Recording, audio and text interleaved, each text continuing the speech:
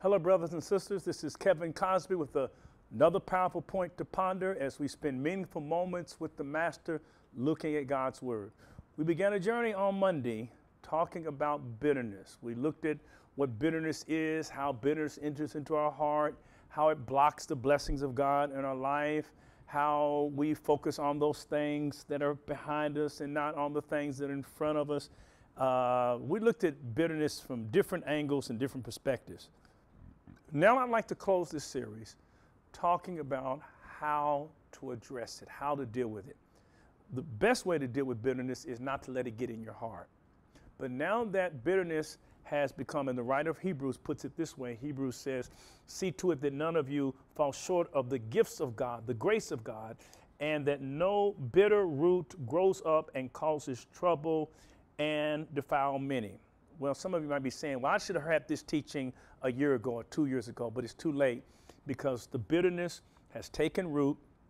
It's in my heart, it's in my mind, it saddens my spirit, it saturates my mind, and it is sabotaging my work. So it's already there, and not only has it, it is the root there, but the root has become a plant, a tree, a forest, and I am just consumed with bitterness. I really do have some bitter bitter issues, bitterness issues. How can I overcome it? Ephesians chapter 4, verses 30 through 32 says this And do not grieve the Holy Spirit of God.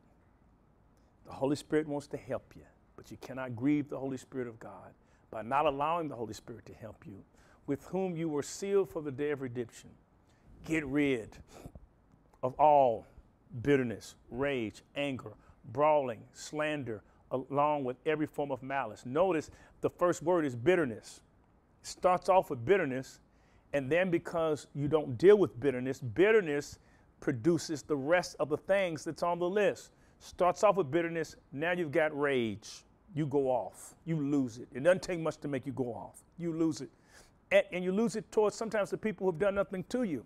Rage, anger, brawling. You want to always be combative and fighting. Slander. You gossip. You try to hurt people. You get revenge. And malice. You're just resentful. But it all started with bitterness.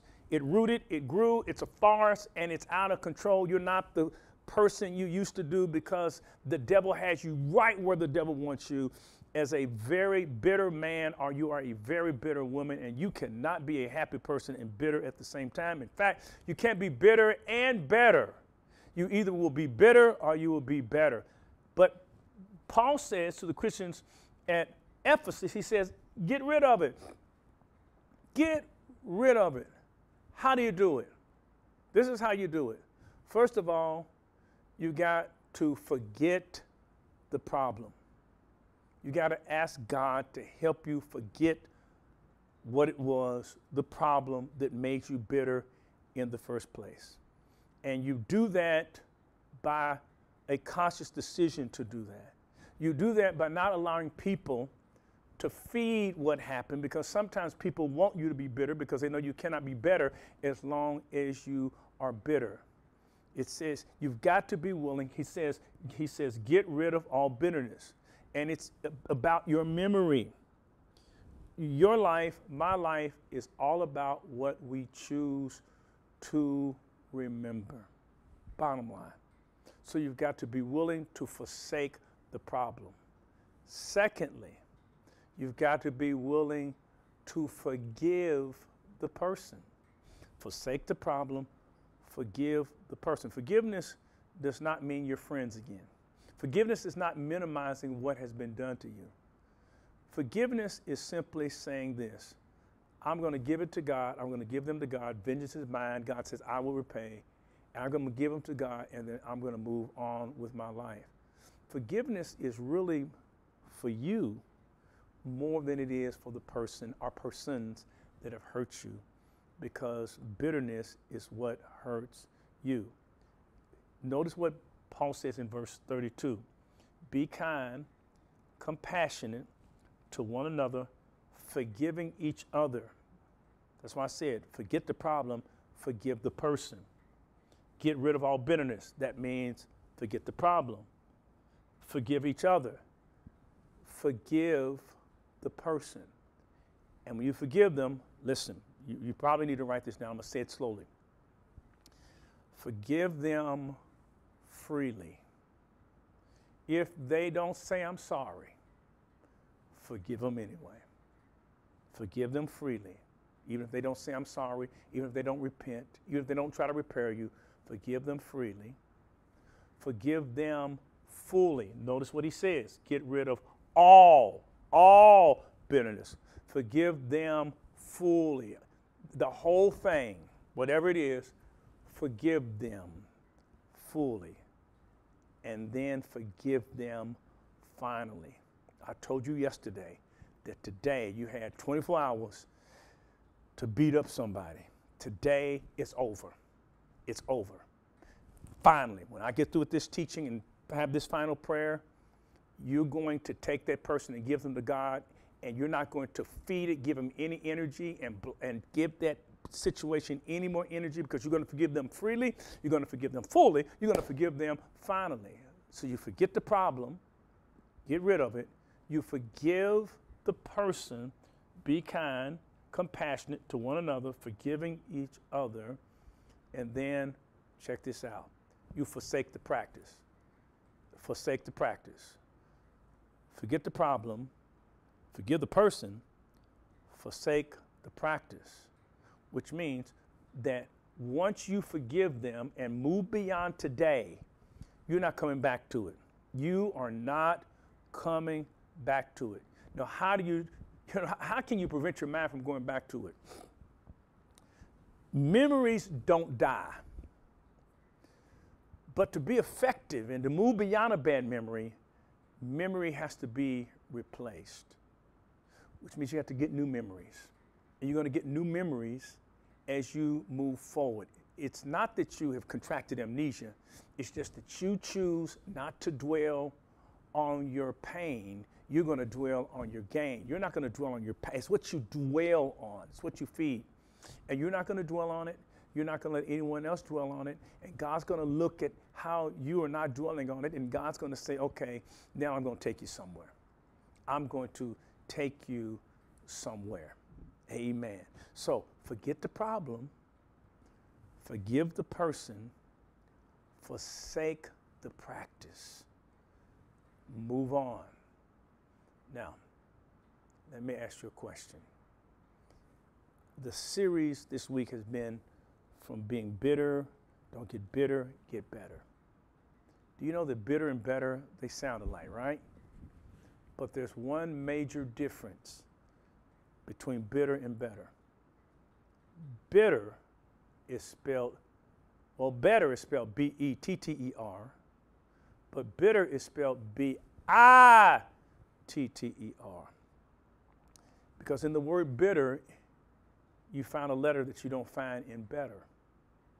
And the word bitter is ah, ah, ah, which is to say that I control whether or not I am going to let what has happened make me bitter. It's on you. You must choose.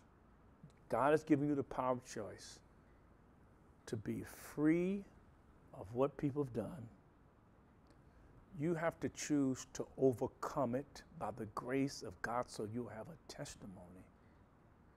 And then once you choose by the grace of God to become free and overcome it, then you refocus on your dreams, on your future, on what's ahead of you. Or as Paul said to the church of Philippi, Philippi, forgetting those things which are behind you and pressing towards those things which are ahead of you, he says, I press towards the mark of the high calling. Bitterness is a low calling. God has a high calling. Are you pressing towards the low calling? Or are you willing to press towards the high calling? God has a high calling on your life. And Paul says, I don't know about you, but I'm going to press towards it. You, your best days are in front of you. Not behind you. Listen, God can prepare a table before you in the very presence of your enemies. So, what the enemies have done for evil, if you don't let bitterness become a root in your heart, God can bless you in the presence of the very people who tried to do you damage. And in closing, one of the best ways to overcome bitterness is to do what we're going to do tomorrow, and that's worship. When you worship God, you get an image of God's greatness and God's power. And that image of God's greatness and power will remind you that regardless of what the people have done to make you bitter, that no weapon formed against you shall be able to prosper. God bless you. I hope you've been blessed by this series on bitterness. May God help you to move from being bitter to becoming better. Let's pray together. Heavenly Father, thank you for this wonderful week of teaching from your word, practical news we can use and apply to our life. Now, Lord, help us to go back over some of these teachings and to incorporate them into our lives. Help us not to become bitter, but help us to become better. In Jesus' name, amen. Well, thank you for being with us this week. Tomorrow is Men's Day at St. Stephen Baptist Church. We've never had a year like this. We'll, we'll probably never have a, another Men's Day like this where we're all kind of, you know, worshiping online and social distancing, but we're still connected. And I want to encourage you to uh, invite people to Men's Day St. Stephen Church. Just maintain the regular routine. Uh, just keep doing what you always done did before COVID 19 and be with us. The pre worship experience begins at 9 o'clock. We've got a special guest. You don't want to miss our special guest. And then the worship service begins at 9:30. We've got all the way from Brooklyn, New York, Pastor Anthony Trufant. He is absolutely amazing. He's this is the first time he's been at the pulpit of St. Stephen Church. It will not be the last time. You will be blessed by the words coming from Pastor Trufant. God bless you so much. Thank you so much for being a part uh, of uh, these powerful points to ponder. Love you much. God bless you. And in closing, don't forget what we always say stay safe, stay sane, and if you can, stay home. God bless you. See you tomorrow in worship.